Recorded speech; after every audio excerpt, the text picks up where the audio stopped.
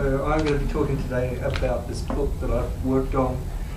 Um, and what you'll get are the sort of high points, none of the difficult arguments that get you to them.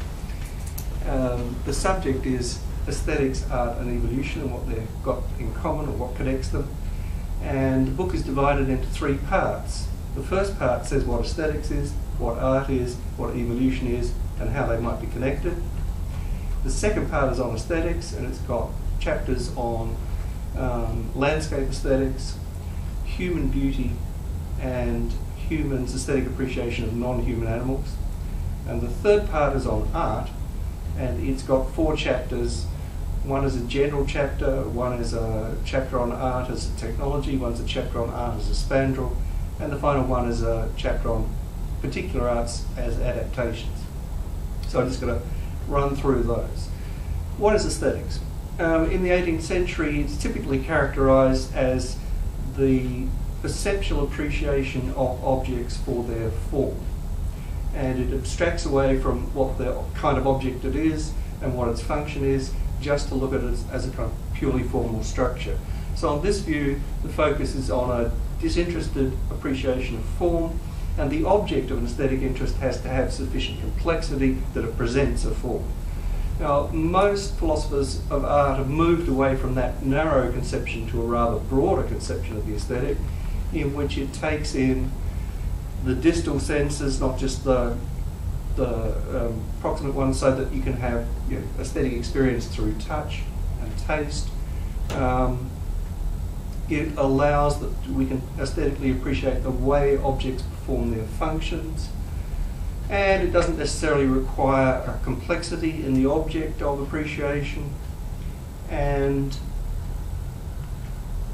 it allows for aesthetic experience of the everyday or everyday aesthetic experience rather than having it as a specially heightened um, disinterested mode of attention to objects.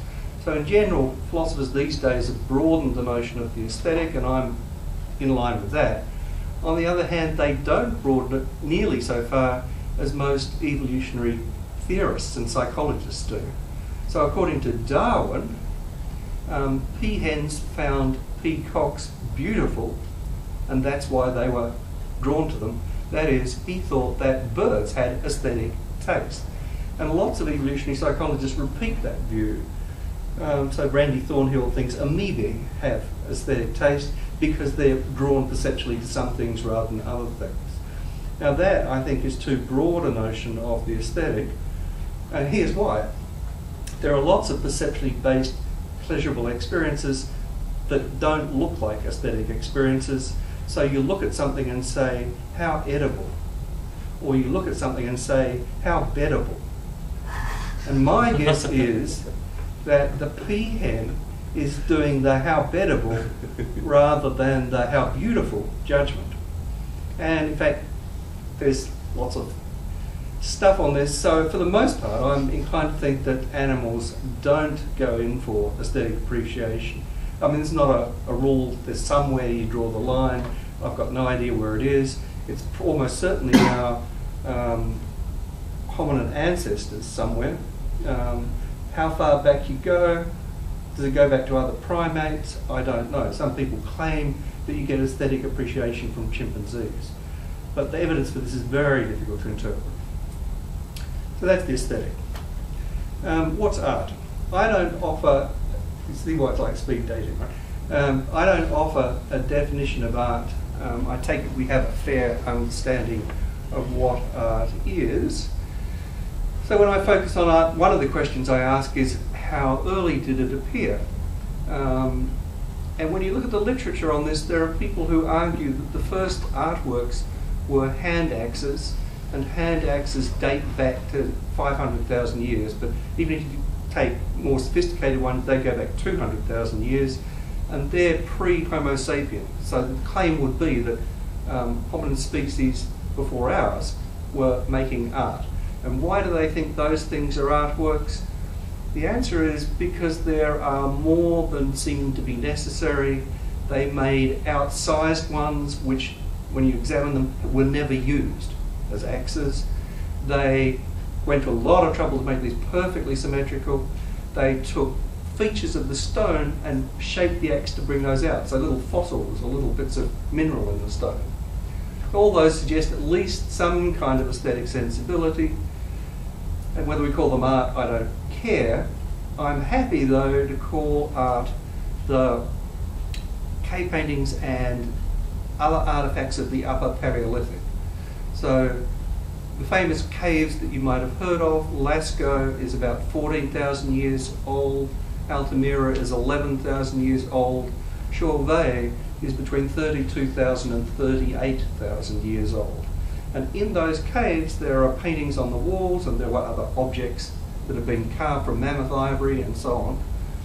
And all the commentators, I would say something like 99% of the commentators say these are artworks and they don't offer you any argument for it at all. It just seems so obvious. And if you see pictures of these things, you can probably see why. The people who made them went to an awful lot of trouble to do it. They climbed down under the earth in these caves. They heated pigments that required heating up to 1,000 degrees centigrade. They built scaffolding to paint way up on the walls. And they were painting huge pictures. So the bulls in Lascaux are five metres long. I mean, these aren't little depictions. And they're extraordinarily accurate depictions of the animals. Though there's lots of other stuff in the caves which is hard to explain, either finger tracings, there's lots of hand pictures, and there's lots of um, pornographic graffiti. but you know, if you look at, you know, interestingly I should say, almost all the pictures of people are pictures of women, and most of the pictures of people are kind of caricatures, but the pictures of animals are extraordinary. And they're pictures of rhinoceroses, lions, buffaloes, aurochs, all the animals that existed there at that time. So most people think those things are art, and I'd be happy to agree. This isn't to say, of course, that they appreciated them as objects for contemplation. I mean, they're these caves, for God's sake. They're almost certainly connected with religious experiences or some other kind of thing.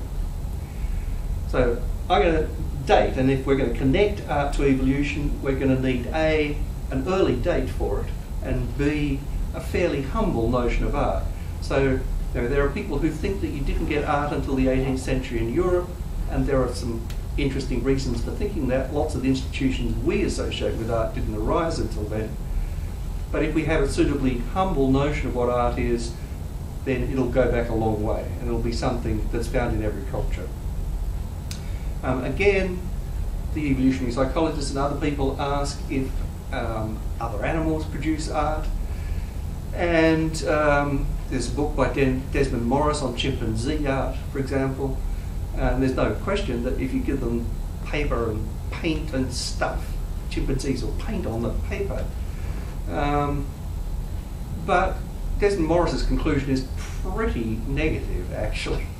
Um, uh, and I think uh, a lot of the literature on this is kind of fanciful. There are people who think that artists, sorry, birds are artists. Um, and there are people who think that elephants and chimpanzees are artists. But the creature they focus on um, is interesting, it seems to me. They focus on the, the, um, the bowerbird. Bowerbirds are a genus of 18 or 20 species found in Australia and New Guinea, and they build um, different kinds of structures, including sort of two metre long things with parapets and you know, very weird looking structures. And these aren't nests, these are places where the males display and females go from one to the other, make their choice the people who first found these, or at least the Europeans who first found these, thought they were made by people. It didn't occur to them that they were made by animals, in fact birds. They're, these are such elaborate structures. Now I don't think that bowerbirds are artists. I don't think we think the peacock is an artist just because he grows his tail. And I think that what the bowerbirds are doing is, as it were, building a tail and they do it in very species-specific fashions. Lots of the scientists will tell you a story about bird culture, which is the way in which birds learn what they're doing and differ from place to place. All that's true, but I think it's very stereotyped behaviour. So I don't think bowerbirds are artists. I think one reason why they get the focus is A, because Darwin talked about them, and B, because the people who are looking for artworks think they ought to be looking for artifacts. And when you look around the animal world, there aren't that many that create artifacts, but bowerbirds do. I think that's just a mistake. If you're looking for animal artists, you should look for singers and dancers. Um, so, are there an, any animal artists? Um, I suspect the best candidates are humpback whales, and that's because they don't just sing, they have a generative song. So they keep changing it in ways that make it look a bit like what artists do. But again, you know, I'm kind of agnostic about this. So that's the aesthetics and art. What's evolution? Evolution is the theory of natural selection as proposed by Darwin, but then as amended in the light of Mendelian genetic theory, because Darwin didn't know what the method of transmission was. Um, so that's okay. We've got natural selection. There's also sexual selection. Many biologists treat that as a subcategory of natural selection. It's, it's a sort of interesting case. It's, it's both like natural selection and it isn't. If you think that your conspecifics and people of the other sex or gender are just part of your environment, then it's easy to tell a story in which it's like natural selection, because natural selection is fitting to your environment in a certain kind of way. On the other hand, if you think natural selection is a randomly driven process, this doesn't look like it because this is driven by the selections of your fellow human beings. Anyway, if we count sexual selection, it's easier to argue for a connection between art and evolution because artists say, you know, do you want to come upstairs and see my etchings? And you know, it's a great way of showing off. And showing that, like the peacock, you can waste time on a completely useless activity, which shows your fitness for doing everything else. So add sexual selection into the picture. Um, what else are we going to add? There are um, a couple of options. Basically, if you allow for group selection, so if you allow that the units of selection are not genes or individual people, but groups, it might be easier to get a connection with art. Um, though uh, group selection is controversial in certain ways. If you allow gene culture co-evolution, which we almost certainly should, it might be easy to get a connection with art. Um, so you know, we can tweak evolutionary theory up to a point to make it easier or harder to establish a connection with art. Um, for the most part, when I do it, I focus more on um, natural selection and sexual selection than stuff about group selection. There's also a theory known as, um, I forgot what the name of it is, develop, developmental systems theory, um, one of the co-authors of that theory is at the University of Auckland. It's Russell Gray in the psychology department. That's a view according to which um, all that matters for evolution is that the resources that are needed are available to each generation in a regular way, not that they're matters of genetic inheritance at all. They could be that, or they could be cultural. So that's a kind of theory that might make it easier to include art in the story because it includes culture in the story very straightforwardly. Um, but I don't you know, focus very much on those theories. Chapter 4, what are the connections? Um, the obvious connections would be art is an adaptation, or art is a byproduct of something else that's an adaptation, so it's a spandrel, or another possibility that I'll explain more clearly later on is that art is a technology, basically a bit of culture not really connected much with evolution at all. Um, if we were looking for connections, what would we expect to find? We would expect to find a whole lot of universals in arts that are pan-cultural, and not just pan-cultural, maybe universal in the sense that every person has them as part of their genetic disposition. That would be so if that were true, that might be evidence that these were adaptations for our ancestors and they were so successful as such that we've got them, as we've got all sorts of other things that were adapted for our ancestors. Um, and when you look around, there are plenty of universals to be found across the arts, and I'm not going to go into that in any further detail. But there are some warnings that you need to heed as well. And I keep returning to a couple of cases in the book. One is feathers. Um, what are feathers adaptations for? If you ask most people, they'll say flight. And of course, they're wrong. Feathers, the original feathers, do not sustain flight at all. They're almost certainly either for thermoregulation or for catching insects. So does that mean that flight is simply a spandrel? That would be weird, given its role in the lives of birds.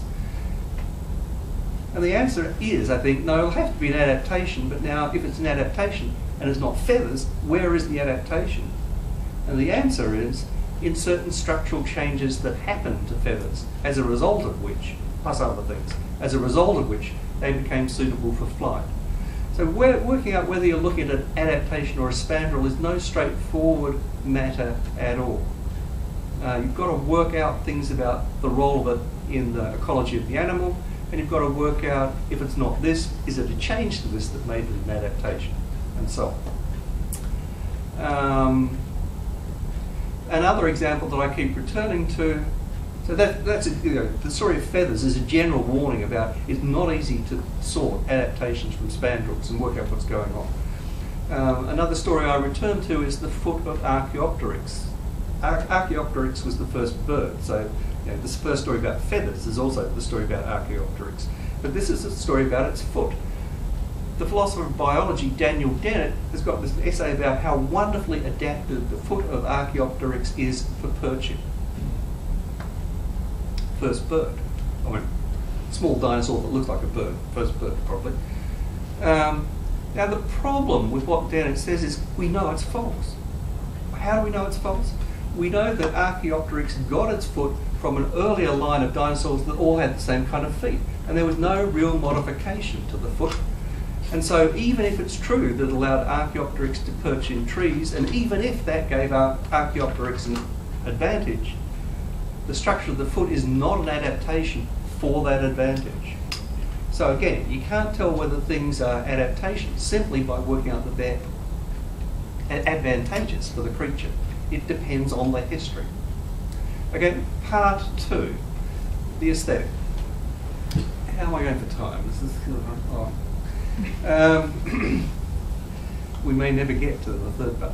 Uh, landscape aesthetic. The general thesis here is our ancestors came to like in the environment the things that were conducive to a good life in that environment. And what were they? I mean, they're not difficult things to work out. You want fresh water.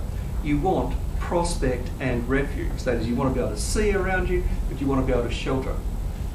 And evolutionary psychologists are always keen to point out that this is reflected in the price of real estate today. What is the most expensive real estate in New York? It looks down on Central Park with its lake. So there's that kind of story to be told. We can also tell the, the negative side to that story. The things people are going to find ugly will be things that aren't conducive to their flourishing. Think how we feel about ticks and cockroaches and stuff like that. Um, now, evolutionary psychologists move beyond that general story about where these preferences might have been established as aesthetic preferences. The idea is, by the way, it's not just that they thought, oh, that'll be a good place to live. The idea is that they found it beautiful and attractive or ugly and repelling. And as it were, the aesthetic dimension lights up the story to motivate people. It's a way of, as it were, giving oomph to the judgment. It's not just that they thought, oh, that looks okay. They thought, that's beautiful, and we're drawn to it. So how can we expand this story? What evolutionary psychologists claim is that, for the most part, we're adapted to... We haven't changed very much. That is, humans haven't changed very much in the last 20 or 30 or 40,000 years but we did adapt to the environment that existed back then when we lived as hunter-gatherers. And the environment that those people lived in was the savannah. So the claim is that we probably have a vestigial aesthetic interest in savannah over other habitat types. And there's some interesting tests of this. A very famous test showed that children of about the age of eight, when they're shown pictures and asked which where they'd like to live, explore and so on, kept on selecting savannah. Once they get older than that, they select the environments they're most familiar with. And the interpretation of this experiment by psychologists was that you know, these children were, were, were displaying this vestigial aesthetic preference for savanna, um, and it got overridden as they got older. In fact, there's two reasons to think that this experiment is wrong or wrongly interpreted. The first is, um, because these are all American children, the first is what they might have been responding to was the savannah of the American backyard, which is where they were raised for the most part, rather than the African savannah, which they'd never seen. So, in fact, there are lots of aspects of modern urban environments that mimic those of the savannah. But the second objection I think is more damaging. It turns out that, and this is very clearly proved, it turns out that the preference children have for complexity in pictures changes as they grow older. Eight year olds like pictures of a low level of complexity and it you know, goes up from there. When you analyse according to the measures of complexity, the pictures that they're shown, the pictures of savannah are simpler. So what they, the preference might be being displayed not for a habitat, but rather for a picture of a certain kind. And now we can, in fact, move on to attack the savannah hypothesis, as it's called, on other grounds, which I think are conclusive.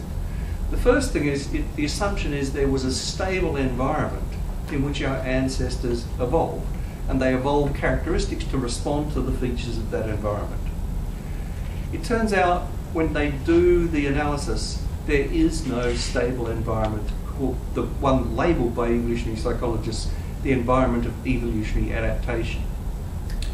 Everywhere, not only over the last five million years, and over the last 200,000 years when you've got human beings, what you get is massive fluctuations in climate conditions. Uh, and some of these were extremely rapid. So in the last ice age, there was something like 20 events when the average temperature rose by 10 degrees centigrade, which completely changed the habit. And then it would decline for another thousand years, and then it would jump. So the evidence is there was no stable environment to which we adapted. So what story should we tell? There's a couple of options. One is that we're like the deer mouse. The deer mouse is adapted to more than one habitat, though it's better suited to woodland than to, um, no, sorry, it's better suited to fields, I think, than to woodland. But the point is, different populations are actually adapted to different habitats, and it's possible for them to move from one to the other. So maybe that's what we are, adapted different populations to different sorts of habitats. But I think the more likely explanation, or another is that it's purely cultural. And I don't think that's true either. If you look at the distribution of the population across the world, it isn't random. People like the sun on their backs. And they like to be near water and things like that. So if it's neither of those, what is the answer? The quick answer is what we're adapted to is to be flexible. So that's bad news for the evolutionary landscape aesthetic. So I think the stuff with which I started is right. Of course, we like landscapes with water, trees, you know, healthy looking animals um, that we can eat, and so on. Okay, on to human beauty. This is a very ticklish subject, and for a while I thought of avoiding it. One reason why it's ticklish is the whole evolutionary psychology literature about human beauty is actually about mate selection. And it's about the selection of females by males. So it's all about characteristics that men find attractive in females. And of course, females are sensitive to being characterised in these sorts of terms. So there's a big literature on what men like when it's casual sex they're after. They actually like something different when it's uh, the mother of their children that they're after. There's a literature about what women like when it's casual sex they're after, and a different story about what they like when it's the father, let's be careful, a different story about the person who will support their children.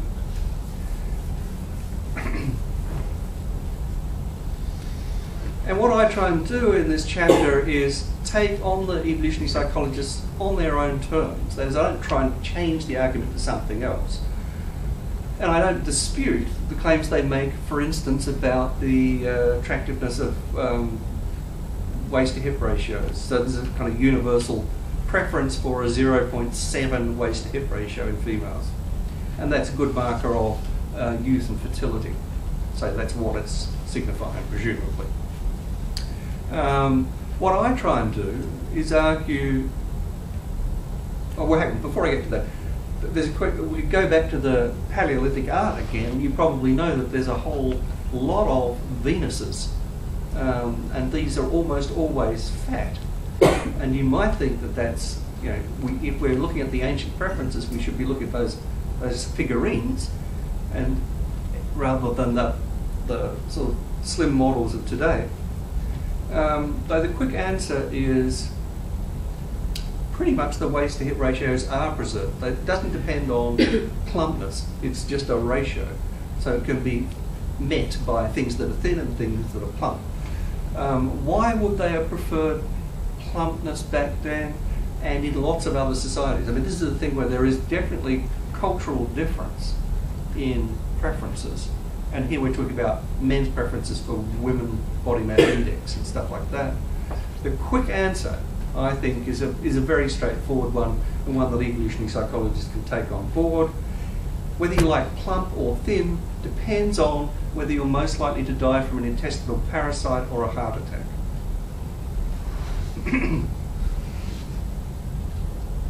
Because you want your mate to survive, basically. Okay, what I do on this thing is try and turn the story from one about mate selection to a different story about social competence. I think the story of human beauty isn't about simply attracting a mate. It's about presenting yourself in a certain way throughout a long period, I mean, throughout life, in a social context. Um, and so, without, so I, I want to change the focus from you know, the business about mate selection, which is often about fertility and all sorts of other stuff, to a, a, different story about how people feel about themselves in a social context and how they present themselves in a social context and how that works for them and how it structures their identity. The fact is, of course, um, oh, it'll take me too long. I'll stop there. Um, on to humans' aesthetic appreciation of non-human animals in this, this is an interesting topic which hardly anyone has written about. It's not in the evolutionary psychology literature, for instance. Um, if we took it to parallel the stuff on landscape, then what we would expect is we should like the animals that played certain roles in our ancestors' lives. We should find them beautiful. We should find ugly animals that perform different roles in their lives, the negative ones. And indeed, there is some of some truth to this, I think. Um, but what I do when I talk about this is, in fact, try and show how broad the notion of the aesthetic is, and how, even if it's got that component, which fits with the evolutionary psychologist's story, it's got a whole lot of other stuff as well. So, for example, I think we admire animals for their fitness characteristics, especially when they're things that would be fitness characteristics for us too. So we're impressed by how high they jump and how fast they run and a whole load of other things. but there's a biological component to that. There's also certain biological biases that affect our aesthetic attitude to non-human animals. We like ones that look like babies and that are sort of tottery. We also like furry mammal though. So, um, and basically, the less like us they are, the harder they are for us to relate to immediately in that attractive or unattractive way. Um, but there's lots of other things we can do with animals, and I think indeed we do. So some of those have this sort of biological bias that I was just talking about, um, but others are, are, entirely different. So that, for example, if you think that um, God is an artist, you could appreciate animals as God's artworks and indeed lots of um, Christian literature does something like that. Uh, if you're an agnostic, that's all right, you can do it counterfactually. You can, as it were, view them as if they were the work of some artist. You can also abstract away from their living character and view them as kaleidoscopic sculptures. It's not a bad way to look at birds of paradise, actually. Um, so What I use the discussion of our appreciation of animals to do is to show the diversity of our aesthetic responses, some that are biologically based, some that aren't. Part three, art. Um, chapter eight. I do three different things in this chapter. First of all, I, I, try and work out what the claim about universality would come to. That is, suppose we think um, the appreciation of art is universal. Does that mean we're all artists? Or does it mean we're all recipients of art? Does it mean we're all experts in all of our art forms? Or is it sufficient to be expert in only one? What level of competence do you need? What counts as competence? So I go in for a discussion about that and I'm not going to say any more. Um, second thing I do is look at theories that claim art is an adaptation where they mean all the arts. So they put them all in a basket and say the arts are an adaptation. And the two theories I look at in particular are Geoffrey Miller's, according to which um, the arts, are, he's got a sexual selection theory, so they're like a giant entertainment system with which we seduce each other. Um, I don't think this theory works very well, actually. Um, so if you look at history, I mean, if it, if it were true, then what you would hope to find would be that male artists, and it's a story about males, first of all, it's got a bias in favour of males as artists. Secondly, if it were true, you would expect to be able to demonstrate that they produce more offspring um, than non-artists. And it turns out none of this seems to work. I mean, if we had the humble view of art, then mothers sing to their children all the time, right?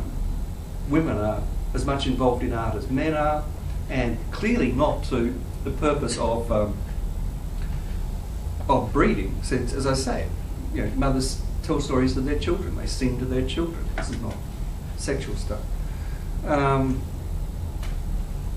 and what empirical data there is doesn't bear out the claim that artists have more children. In fact, there's interesting study of sort of three or four hundred years of Western composers that, in which it turns out they have fewer children, the, the, the norm. Um, it's difficult to get the data on this, but you know, basically, if you look at the history of art, these people were servants. The guys who would have been able to get the women were the ones who could afford to employ this composer or this singer, not the composer or the singer. They were servants. So I don't think that theory works very well. Another general theory is Ellen Dissanayake's, which I think is much more plausible, but again, I think is mistaken. She thinks the function of art is to make things special, and we do this to enhance ritual, and we do that in order to build community.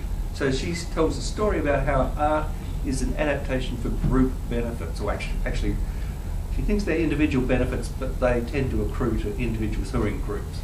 Um, again, the, the problem with her theory, I find, is she really, to find the common denominator, she really has to simplify things a lot. And at a certain point, she loses the interest of most art when she does it, I reckon. But, and here's a, a, further point, this is the third bit of the chapter that comes out from her account. Evolutionary psychologists, as I say, think that we evolved in the, as a species in the past to conditions of that past. And so, if you ask an evolutionary psychologist what is the adaptive function of this, what they do is tell you a story about its origins. So what they do is go back to the past and try and find the origin of it. Um, and indeed, they do this for art as well. So the final part is about stuff on the origins of art, and I express a general skepticism about this. Um, that is to say, those origins might be very simple and not a very good explanation of what we think of as art today. And if there's a connection between art today and evolution, it might have come much further down the track than that. That's chapter 8. Chapter 9 is art as a technology. Here's the background to this view. Some people think that what we get out of evolution as human beings are some very general capacities, intelligence, and then everything else is scaffolded on these basic things that we've got. So you have just a small suite of adaptive behaviours that generate everything else. Our capacity to learn by imitation, intelligence, various things like that. And with that theory, most of what goes on is so removed from the events of evolution that it seems misleading to regard what's going on as, as a byproduct of evolution. As it were, the evolution just gave you a few basic things and then everything else is really cultural built on that, not, not well described as a byproduct or spandrel. Um, and indeed, we have people who argue, a guy called Aniruddh Patel argues that uh, music is a technology and he compares it to fire. Now, we don't have genes for fire. Um, fire is a technology. Why is it universal? Why do we have it? Because it warms our world, literally. So he compares art to a technology like fire. Um, I think he's wrong on various accounts, but really, I'm not happy with the model with which I that tempts you to go in this direction.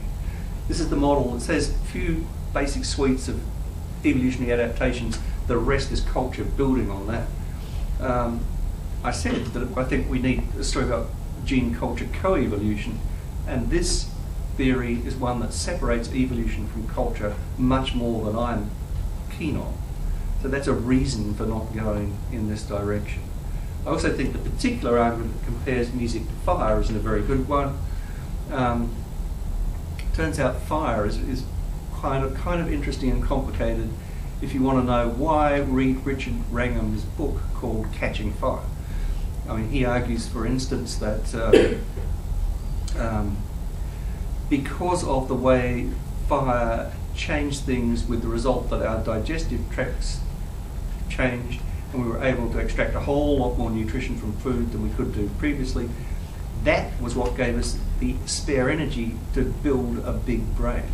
So he thinks fire you know, affected evolution in a whole spectacular lot of ways, not that it's a bit of technology that's got no connection with evolution. Art as a spandrel, chapter 10.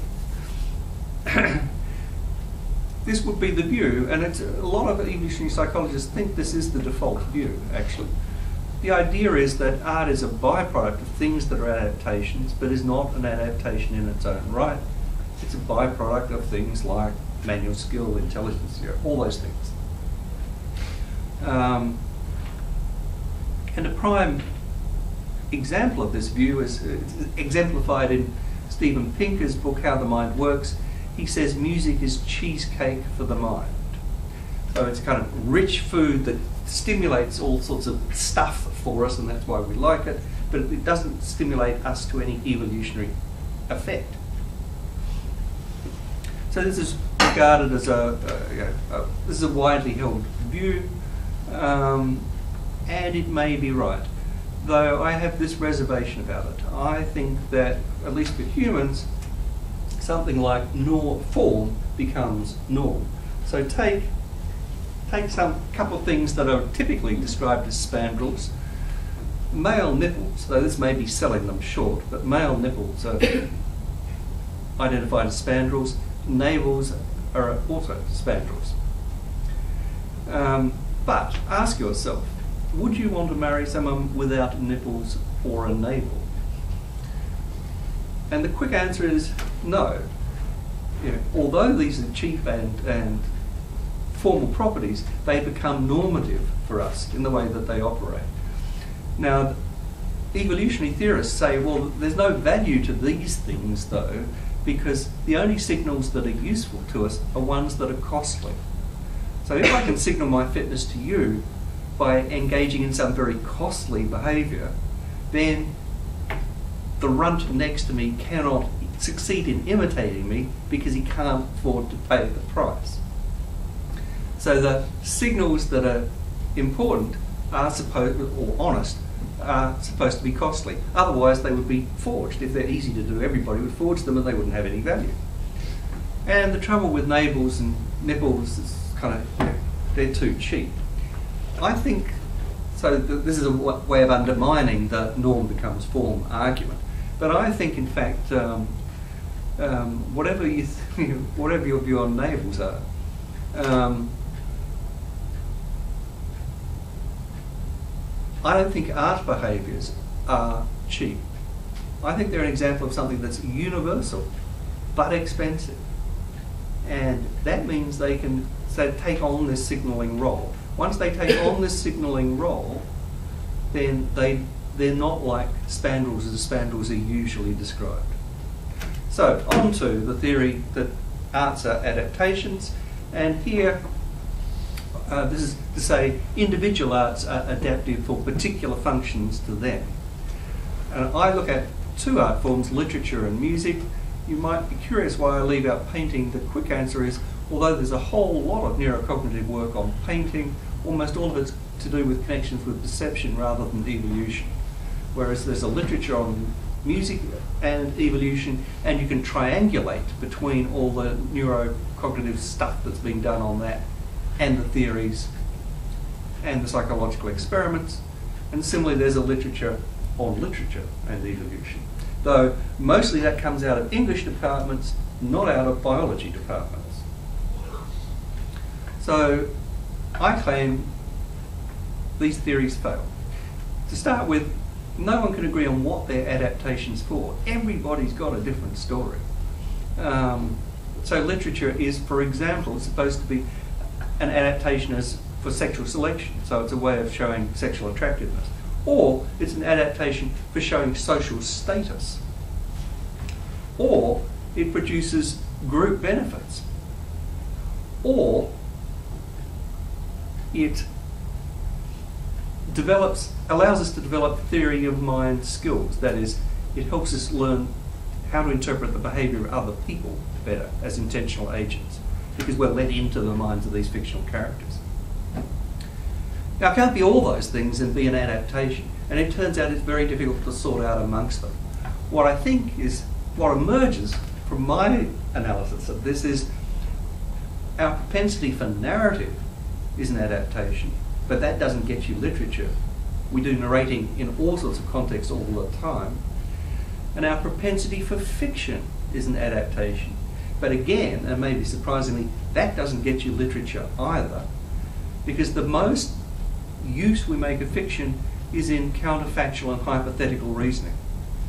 In hypothetical reasoning, I say, what will happen if I do this? And in counterfactual reasoning, I say, what would have happened if the past had been different? What would have happened now? Both of those involve engaging with fictions, and they're not literature. So and I think the story works for literature. How does it work for music? Music is even worse. It is. And you know, I could, there's about 15 things it's said to be an adaptation for. Starting with um, infant directed speech. Um, so it's to do with communicating with babies, or Mother motherese, that's sometimes called. Um, and on and on and on. The sexual stuff, the status stuff, the group bonding, um, it can be used to pacify, which is good, but gee, it can be used to ramp up aggression, which is what you want in the troops.